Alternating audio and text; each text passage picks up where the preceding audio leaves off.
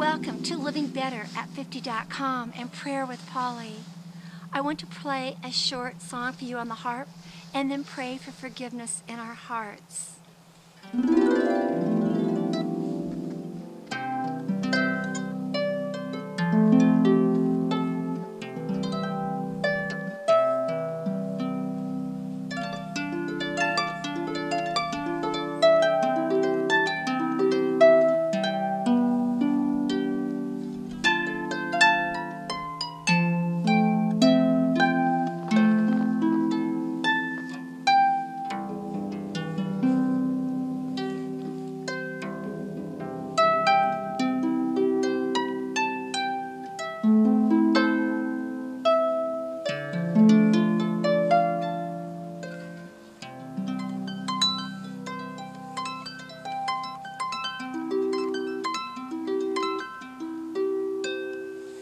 Oh, my beloved friend, today I just want to pray for forgiveness of sin.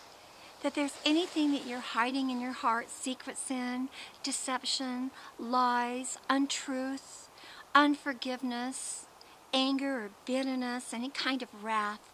We just want to lay it down at the throne of God today and ask His forgiveness. Because when we ask for our sins to be forgiven, my friend, there is such freedom. I pray this powerful scripture over you now in the name of Jesus. Out of Isaiah 1:18, "O Lord, you say in your scripture, come now and let us reason together, saith the Lord. Though your sins be as scarlet, they will be as white as snow. Thank you, Father. They are as white as snow. Though they be red like crimson, they shall be as wool. If you are willing and obedient, my friend, you shall eat of the good of the land. Oh, Father, that our sins are now forgiven and they are as white as this beautiful snow that is surrounding us. And I thank you, Jesus, for that.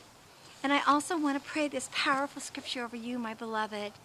If we confess our sins, He is faithful and just to forgive our sins and to cleanse us from all unrighteousness.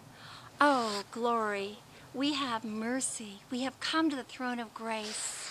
So, my friend, empty your heart right now and let the sins just be forgiven. I pray this in the name of Jesus by the blood of the Lamb.